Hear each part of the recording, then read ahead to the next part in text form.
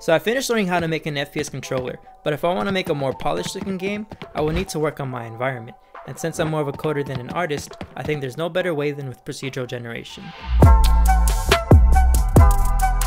So let's begin by starting a new project. Next it's time to go on my usual YouTube grind and figure out how to do mesh generation. Thankfully Brackeys has three videos on this topic. Three days later. After watching Brackeys videos, I'm now able to generate meshes of any size that I need, and all it took is the code you see on the left. Now to make this look like terrain, use something called Perlin Noise, which is an algorithm created by Ken Perlin to help make more natural looking textures and terrain on the movie Tron. What I'm using here is the 2D version which generates values between 0 and 1. To represent this, I map the numbers closer to 0 as black and numbers closer to 1 as white. The power of this algorithm comes when you multiply that Perlin value by a number. For instance, I can use Perlin noise multiplied by an amplitude to procedurally generate the height of my terrain. This is all fine and dandy, but I wanted a little bit more control over my environment. Thankfully, I found this tutorial series by Sebastian Lague, and it covered everything I wanted to know and more. It seriously was so good that I gave it a watch a few times over. The problem is, it goes into so much depth that is too comprehensive for my puny brain to handle. So I took two of the simpler concepts to add to my generator. One was the ability to finely tune the noise, and two was this concept of multiplying the Perlin noise with the fall-off map to create islands. I actually wrote my own version of Sebastian's fall-off map so that I could set where the fall-off begins and ends. Here's a preview of that code for those of you who are interested. I also fixed Sebastian's noise generator because I think he broke it around episode 6 and then never fixed it. When you change the scale, you're supposed to be able to zoom in and out of the Perlin map, but right now it almost seems like you're generating a new map. I narrowed down the problem to these lines here. Changing this also fixed the parallax effect Sebastian had when changing the offset. Now that we have more control over our environment, it's time to move on to my favorite topic from elementary school, and that is coloring. So for coloring, I spent about a week or two trying to recreate the style Sebastian had for his intro. He shows that he's generating a texture with these nicely rounded edges, but in the tutorials, he only teaches us how to make a pixelated texture. One solution I had was to increase the number of sample points we use in the texture, but if you zoom in, we still have the problem of seeing each individual pixel. Then I remembered watching a video by Sebastian where he used marching cubes, and I was almost certain this is the approach he used for generating his texture.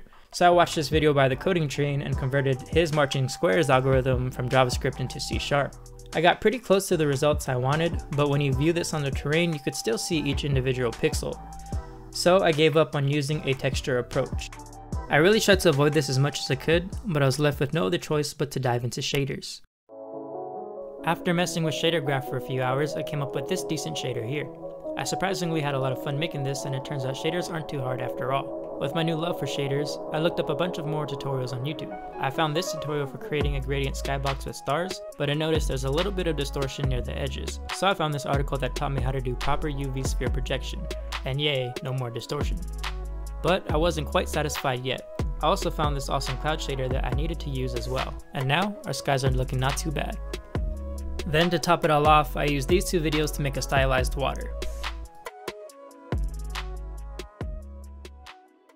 Alright, let's finish off this last bit here. So to finish off this project, let's add some vegetation.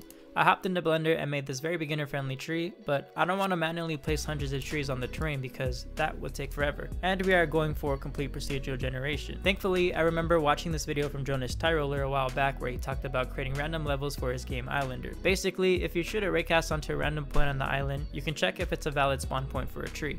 If so, spawn the tree.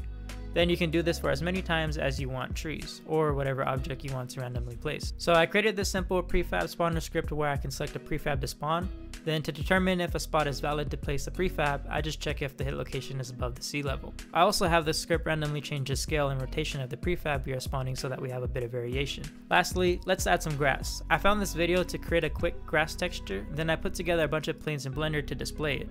Back in Unity, I just reused my prefab spawner script to spawn my grass around the island. Although, to really bring this grass to life, I watched this video from Brackeys, and now we have sway in our grass.